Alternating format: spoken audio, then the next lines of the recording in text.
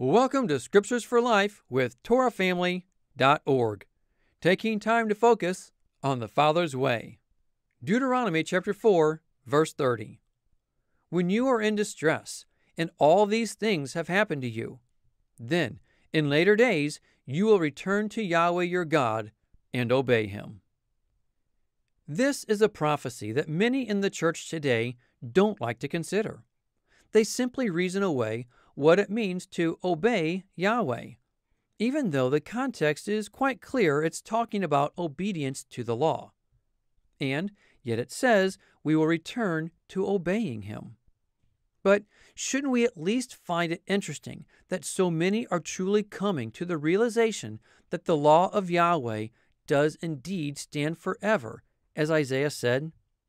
Shouldn't we consider what Moses was saying here with a heart to understand just what he meant?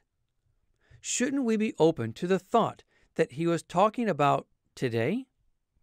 This all being said, the fact remains that there truly is a move of the Holy Spirit in opening the eyes of so many to the Torah today. So, what could be a conclusion from this?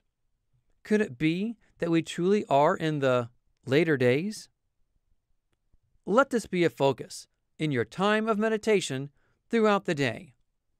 Until next time, Shalom.